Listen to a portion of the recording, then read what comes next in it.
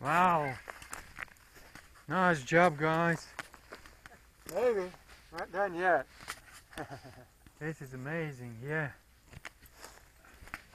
So this is the the corner right here where this uh, Well, it depends on what you call the corner. The, technically, the corner's way up there where that where your no trespassing sign is. Right, but no, this is the official like without the 30 feet, that's Yeah, the 30 yeah, feet 30 yeah. easement, yeah. right. So this is the official corner. The I I had a survey done and yeah, they put the. Yeah, we need to try to save that. I think there's another one, like in the ground, like a little metal something. They just put this in so I can see it. Yeah. I just put this here because that's where my gate was, but. Yeah. Yeah. Yeah, I think. Yeah, see my other corner up here? That's probably in line with that one. Because that's what I did when I put this fence in. I put it 30 feet back. And I just made a jog in so you could pull in easier with the gate. So you Right, get off right. the road before I. Okay, so And yeah, that's, so yeah, that's, right in line that's with that one. So my fence here is on that 30 foot line. But the, Ah, okay. the technical edge is all the way up there by that 4 by or that railroad tie. But it's less 30 feet. But it's only less 30 feet for a right of way, not a road. What does that mean? Because this ain't a road, it's a right of way. That means it's private for only the people that live here. If it's a road, it's public, anybody can come in. So we don't have to leave that out for the road? No, The 30 no. feet? It's just a right of way for the people that live here. Anybody that lives here has Oh, the right to come through, but if you don't live here, it's a private. We could put a gate off at the end of the road down there because this all the way from the pavement is a private drive. So what do you think? Uh, you think uh, I'm okay to use? Because I was a bit hesitant to use like the first thir- thir- 30 foot of my, uh, you know, this section. Like Uh, what? Yeah, they could come along anytime and change it. Yeah. Right now, it's not a road, but But only if they want to put in a road, then they Yeah, can. yeah. Okay. So don't which put any structure. Change. I wouldn't. I would. Yeah. No. But I can dump mulch and like use it for what? Yeah, yeah. Because they, they're trying to change all this through there. Um, they're tr- twice now they've tried to subdivide this and make them like a little half acre lot, and then they make it official road and everything like that. But you know nobody that lives here wants that. Yeah. Because that's why people live out here, so you can, you know, do stuff. Have Right. animals, grow plants, whatever. These stupid cables, man. I hate these. Yeah. Yeah, but. Can I just cut them? Huh? Just cut them? Not if you want electricity.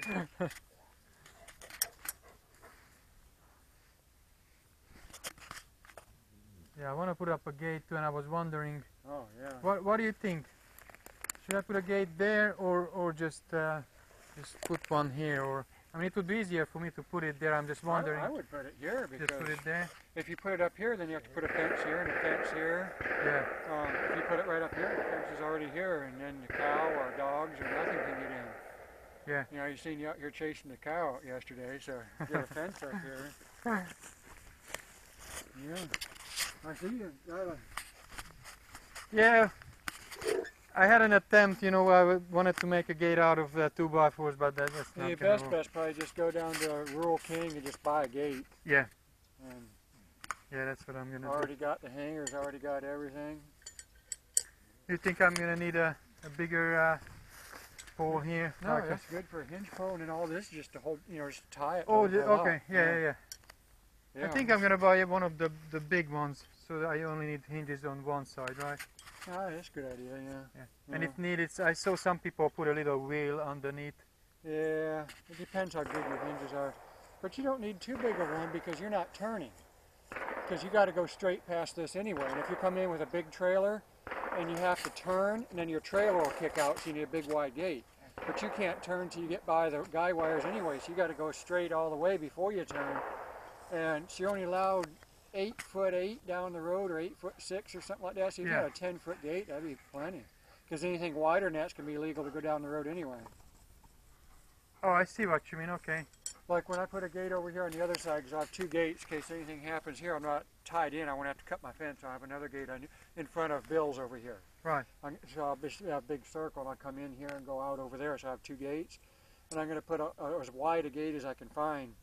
Because right there, as soon as I come out into You have Bill's, to the make road is, a 90, gotta 90 turn. degree turn. Yeah. so that I need a wide gate because of that. But when you're just going straight through and not turning, you don't need as wide a one. But, Right. Right.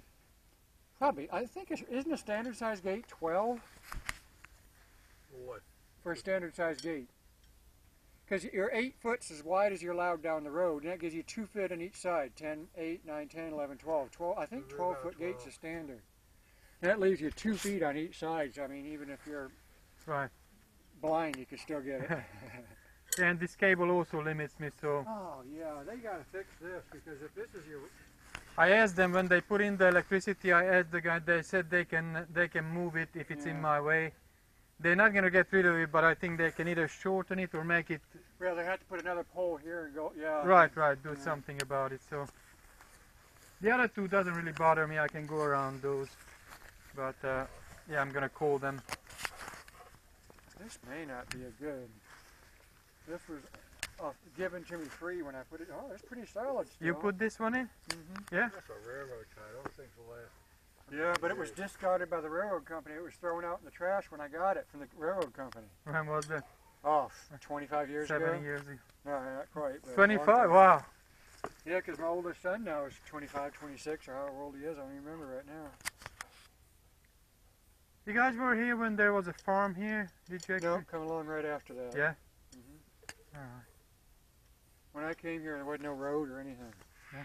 Not even out at the big, not even coming off the pavement. There's just a field. you couldn't even come in here with a car. All this road and everything, you couldn't even. I had to come where my house is. Had to go that way and out because you couldn't even drive through anywhere here. Like over here, where I go through the hole in the fence, that wasn't there. And this big ditch like this is here, they were all over the place. So when you look on the satellite, you can see these ditches going all up Yeah. and down on all the lots. What? That's Why the is that? drainage for the farm when it was here. Well, it doesn't drain much. Yeah, well, they pumped. It drains and they had pumps to do it. Oh, they pumped them. Yeah, they had big diesel engine pumps, and they had pumped in, pumped Ah, out. both. okay, okay, And those were the collector ditches or perimeter ditches or anything like that. okay, got it. They were huge though. This was already. This is just half the ditch. Then the other the uh, ditch was here. Then the berm was here. Then there's another ditch here. So right down here where my road is was the same as a ditch because they dug a ditch on both sides and then put the dig from the ditch up into the middle to make a dike. So it was a dike with a ditch on both sides. Okay. So this ditch you have here was only half of it. Then there was a big berm here, and then I had a big ditch here where my driveway is. And then there was one of them that went right through the middle. Oh, well, it's already still down here where we put our trash cans. Uh-huh. That went all the way through to here, ah, okay. and I, I filled it all in here. So then you you built this road when you did the, your ditches there. Then Uh-huh. you then you filled it up here, Yeah. and you just use stuff from here, just piled it up. Oh, Or- or you well, no, I did it in two different ways. I, for one time, I filled in this big ditch because I wanted to come in on the perimeter. I didn't want to have to drive across the middle. And then, like five or six years later, I had a, all these dirt from the ditches. I mean, all the dirt for the or the bed came from the ditch. I didn't haul any in or take any out. I just Right. took and dug the ditch and pulled the berm up like that there. So I didn't pull any in or take any out. Uh-huh. And it needs a little bit more. One of Marshall's trees died over there because it went underwater. Oh yeah. Yeah. See it? Oh, right here in front of Bill's gate. There's that pipe in the ground. Yeah. That pipe laying there. That's to put across the road over here so we can drain.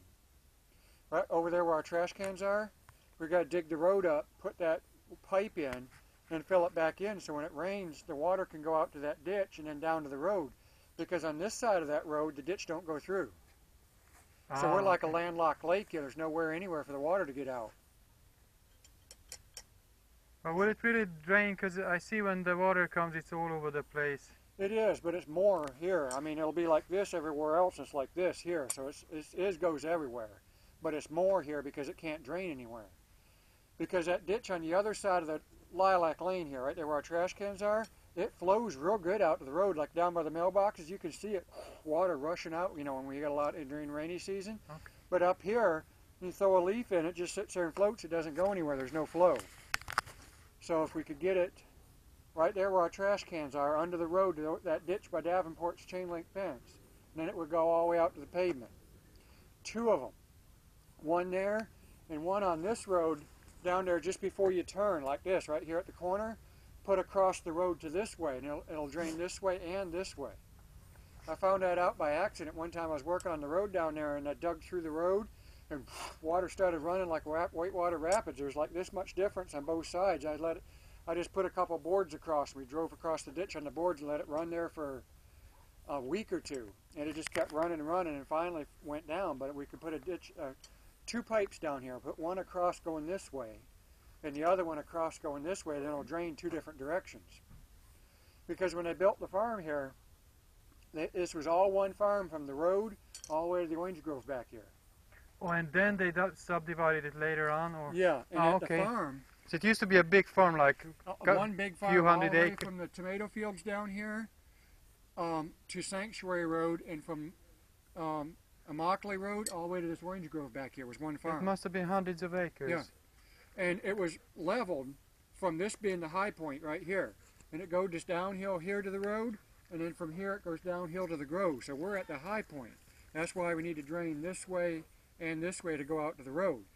Because there's supposed to be a ditch on this side of Lilac too, so there's a ditch on both sides of Lilac, but all along down over here There where is there's new guys. some. Yeah, but it's it's there's no like where their driveway is. There's no ditch, and it pretty much right along there where they put all that new fence where the goats are and everything over Yeah. here. There's no ditch along there on this side. Right. It's only on the other Right. side. So that's why we got to put a pipe across the other side because that would be easier than digging the ditch. You beggar. Then we'd have two different drains, this way and this way. Wanna wanna do the digging now? The backhoe works. Yeah. Uh, how long are you gonna be? Uh, I'm supposed to be here two weeks. Two weeks. Okay. Yeah. Hey, if you're up to it, you know we can we can Okay. do it. I have some Okay. time now, and uh, you know I'll be holding mulch, but other than that, yeah, I'll be around, and uh, yeah, we can. Uh, what are Man. they doing? That's a big guy. Huh. yeah. Let's yeah. Let's do that. Okay. All right. What do you want, old man? He's such a beggar, man. What do you want? That's what he wants right there. Okay.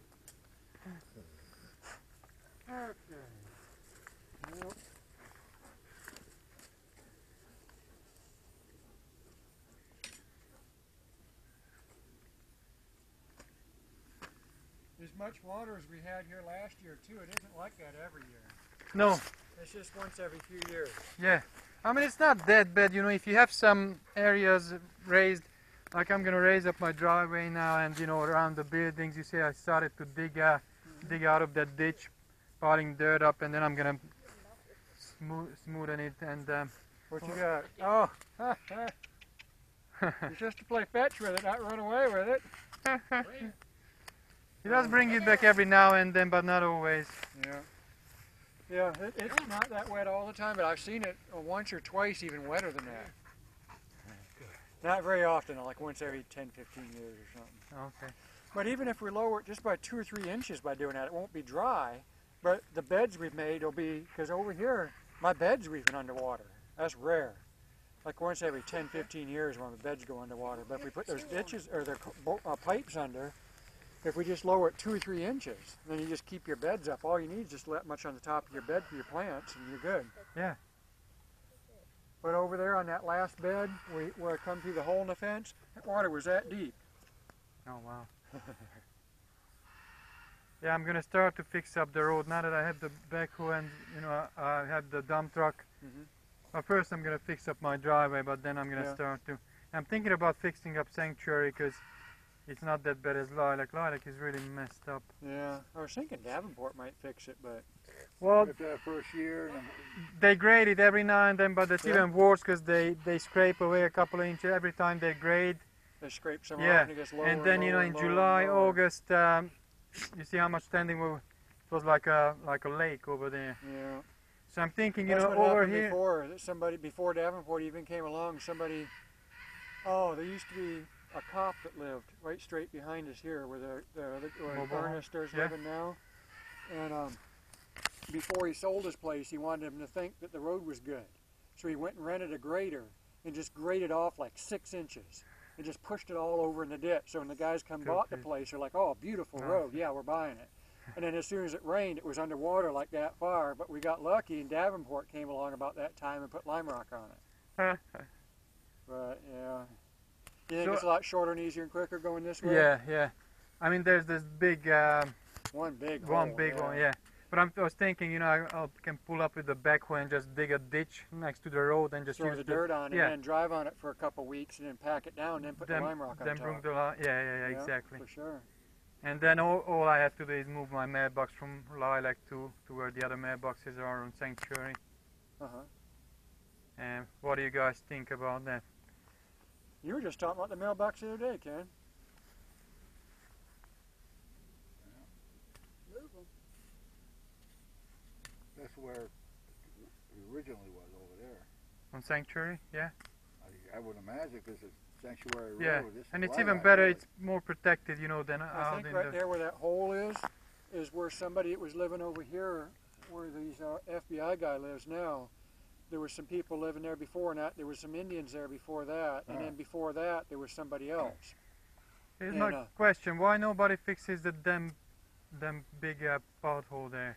Why? Oh, well, that's that's where I was going with this story. Okay. Um, there used to be like a lot of people just cruising around in trucks. They didn't have licenses or anything, just joyriding, just tr- cruising around enjoying, which is fine. But then they were always causing trouble. They'd drive around, find out who wasn't here, and they break it into houses. And there's a lot of crime and stuff like that. And people got really mad. In particular, this guy that lives back here, he got robbed, and people over here got robbed. And it was just people, teenagers, just driving around smoking dope and getting in trouble. And they said, well, we'll dead end everything. If everything's dead end, we they can't just go through because going. If they're coming in a dead end, they get scared. They don't want to try anything because all you have to do is block the road and you got them. So they made everything dead end. They blocked this off, made it dead end, and right there where that big hole is, they took a backhoe and just dug a big hole in the middle of the road and piled up the dirt like this high. So there's no way you could get through even with a tractor. Oh, they dug that? So yeah, so everything was dead end and blocked. So there, if you can't get through, nobody's going to go to the end of a dead end road and commit a crime because you know you could get blocked in. They trap you. So they made made everybody feel trapped. So there's everything is dead end. Then n- you know, everybody quit coming around after that. No more trouble. yeah, but it's a pain in the ass to get in and out for us. Yeah, unless your one road is good, but you know it's so long. It is shorter this way. It's already open now. There's no way you can do that now. But I'm just saying that's why that Right, hole was there. Okay. somebody dug a big old ditch there. Um, the the um, I don't know if you were here here at that time. I'm trying to think of the record truck driver guy. Uh-huh. You remember him? there. Yeah, Yeah, you were here. yeah. He drove a record truck. Uh, That was him. He didn't have a house here then. It was just a little trailer there then. They built that big fancy house afterwards. how many people live here? There's so many, like always four, five, six cars yeah, that's there. the problem. There's always a bunch. There's, I think I don't know, but I think the guy has a couple daughters and they got boyfriends, and the boyfriends run in and out to, or pick the daughters up for dates, and they just fly through here like 50, 60 mile an hour, going through those holes and splashing all the mud out. And marshals tried to talk to him, and he won't. They won't even talk to him. They just give him the finger and keep The on sheriff going won't by. come out here. They won't even nothing. They won't even let stop and talk to you. Even trying to be polite. Hey, excuse me, sir. Or talk to him, anything like that. Nothing. They won't. They won't even acknowledge you're a human being. Huh. It's not him though. He seems to be a pretty nice guy. It's- It must be the guy's dating his daughters. I don't Right, know. right. I, I don't know. I've never met his kids or his wife or anything. I've only met him. Like once. That's it. So you guys gonna do the same thing over here? Put the, the, the that wire fence thingy, the how you call that, the hog wire. Yep. hog wire? Yeah, there where it stops, I got another roll right there now. I'm just going to splice onto it and continue all the way down here and tie it on so it's 100% everything proof. Yep. Okay, cool. Be dog Yeah. proof. Yeah, I'm gonna cut whatever is left on my side. I'm gonna go and go ahead and cut it because I don't want anything on the fence line. I want to clear my side Oh. too. Okay. Yeah, All I'm right. gonna clean that up. Oh, well, yeah, whatever. You can do whatever you want, but that first bush right there is a, a myrtle. They're supposed to be pretty good. For what? Well, one, they're supposed to be a repellent for uh, in- mosquitoes, bugs, insects. Like you plant one next to where your uh, uh, the barbecue swamp. grill is or anything like that, and it helps keep bugs away. In the swamp. huh? In the Well, it's swamp. not, nothing's 100%. It helps. Yeah. Fifty That's percent usually deep battle repellent there, isn't buddy. hundred percent. It's just it helps. But myrtle's yeah, and I gotta get rid of everything. You know, I gotta cutting down everything and have to plant in rows. I gotta make it all nice and look like a farm. You know, that's why I'm planting a bunch of bananas in rows and. They're gonna come out in March again, and if they don't see enough progress, they're gonna deny me again, and then I have to appeal it again and go and fight with them. Hmm. Like last year, you know, I. Yeah. they denied me, and uh, But They making you cut down everything. Then it ain't your plants. That's why Yeah. you cut down those pine trees, huh? yeah, cause, cause you, cause they say, you know, you don't. I wonder why they say that. Because the guy be, back here behind too that has the cows, I was back there yesterday walking along the fence looking, and he took all of his trees and girdled them with a machete. I was like, why? Why'd he do that? That must be why. The county must be making him do that. Yeah. What's their purpose? Because you have to, you know, look like uh, for pasture is different. I don't know how does it work with pasture. Well, he went back there and he, he took a machete and girdled all of his trees, some nice big pretty trees like that. And he just took them and girdled them so he'd kill them. I couldn't figure out why. It must be why. They Well, must have, Probably. If he wants the agriculture exempt, because they got to do that, I guess. Yeah. Hmm. So that's why I'm cleaning up all the bushes, all the yeah. Yeah, Marshall and Ken and everybody wanted to cut that tree down, that oak tree down there and everything. I was trying to save it, but no, cut it down. now you're now it's three against one. My goodness, cutting all the trees down. well, I'm gonna plant lots of other trees, you know, yeah, fruit know. I'm trees. playing the devil's advocate. You guys got that one, uh, like 75% cut down now, huh? Yeah. what are you gonna do with these? Look, they, they're gonna mess up our uh, wires over there, the Yeah, that- electric. that's the electric company, whatever. It gets too bad. You just call the electric company and they'll come out the next day and trim them all up. They're real good about it. I've had them out a couple times. okay, so we gotta call them. Yeah, they're real good about that. They they'll come out usually just within a few days and trim them up all just right. But they won't come out uh, by themselves. You well, they don't know about it. They don't just drive around looking. If you call them, they come out pretty quick. Or if there's an issue or something, or if they're out and just happen to see it. But you know, there's hundreds and hundreds and hundreds of miles of these wires out in the middle of nowhere, and they don't know where they're at. So Okay, so you, if you call them, they'll come out. I'll call them because I want them to, to do something with that. yeah, move, because you move come that in one. with a big enough something, you could catch that. I and already messed up be my uh, trailer b- b- last year when I Oh, parked. yeah, yeah. yeah, Because I forgot about the wire and I pulled in and yeah, got one of the corners. yeah. Oh, I'll, I'll call them. Yeah, I don't know. I gotta do something with my telephone too, because it's dragging down with almost catching the truck. Look how low it is. Yeah. You know what they do now? Oh, you can call them. And uh, they, they, they send out a contractor and they come up with a machine that's going to put it in the ground. That's Oh. what, because mine is in the ground. Oh, okay. Yeah. They came out, it only took them like less than an hour. They came out with the machine, and uh, the machine is a trencher. Makes a trench, but it also it has a big pool of wire attached to it, Yeah, yeah. And it- seen 'em, it's- yeah. and in the same time, he's digging the trench and laying the cable. yeah, and filling it back in And when you're done. When you're done. Yeah. Was it? The ditch witch. Yeah, ditch witch with with a cable. Yeah. So that's what they're doing now. So if you call CenturyLink and tell them your wire is hanging Yeah, very maybe low, put me a new wire, and then maybe my internet will be better. It's so slow. Not even videos, just loading pages to read. It takes like 10, 15, 20 seconds, and the wheel's spinning and spinning Yeah, and call spinning. them. And it's not even video. It's just like literature. call them. I had to call them a couple of weeks ago. I had problems with my internet. It was uh, disconnecting all the time, so they came out, and one of the wires was uh, in that little box up there was um, was loose, so they had to resplice it, and then it was fine. What speed are you supposed to have? 10 megs. 10. Is that Yeah. pretty good for video and everything? Oh, that's good. That's fine. Yeah, if 'cause it works right, it's fine. I'm supposed to have But, 10. but yeah, you gotta call them. Marshall did a test on it. I don't know when it was. It was like last month or something like that. There's a thing. Oh, you showed it to us. And it has Yeah, a little speed test, speedometer yeah. thing. It was like two and a half or three, and I'm supposed to have 10. Yeah, you gotta keep calling them Yes. until they come out Man. and yeah, have them put that wire in the ground. And uh, Yeah, from the pole there over, they put it in the ground over to my house. right where your uh, where your thing is, where's your uh, little box? It's right It- there by the electric box. yeah, the back of my yeah, they're gonna- Put it right there. Yeah. Yeah. Because this is from here to that box is their uh, is their thing. Yeah. From that box to your house, if that cable gets messed up, that that's your problem. But Yeah. But yeah, you, you gotta keep calling them until they come out and fix it so so your speed is nice and you know 10 megabit per second. Because when it runs good, when the everything is good, the lines and everything, 10 megabit is, is fine. Yeah, it should be. but yeah. uh, yeah, you gotta be consistent and you gotta call them, call them. Uh, yeah, it's not working. Come on out, fix it, fix my lines, hanging low, put it in the ground, and they'll uh, they'll do it. You just ha- have to keep at it. You have yeah, to that, keep you calling get up them. there like where that lawnmower is, it's only like that far over the truck. Right. so if we get in and out with trucks and backhoe and stuff, yeah, he might. he would do anything just for some some massage, some pets. You know, I had I had people over this weekend. Yeah. We had a little gardening meeting, and um, man, the dog was like, we were sitting at the at the table on the benches back there. Dog was like, okay, pet me, pet me, pet Then me. go to the next one. Then go to the next one, pet me, pet me, pet me. He thought they all came out just to pet him, huh? But what is his problem? He must have had a rough, rough childhood. That's the way some dogs are. Butchers like that too. He's turned around looking the other way now because we're petting the other dog. Right, He's right.